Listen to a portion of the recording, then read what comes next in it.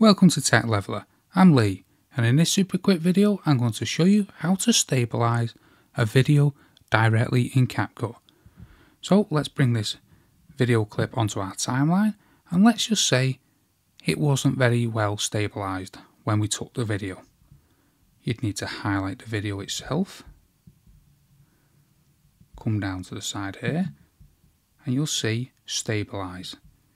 You want to press onto that and you can choose the level here. Minimum cut or most stable. So we'll choose most stable like that. And you can see at the top here in the video player section applying stabilize.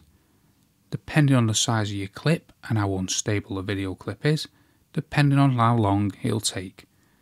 Now this is a free feature on CapCut which is brilliant and it really works to stabilize your videos. So that's how to stabilize videos in CapCut. Hope you found that video helpful.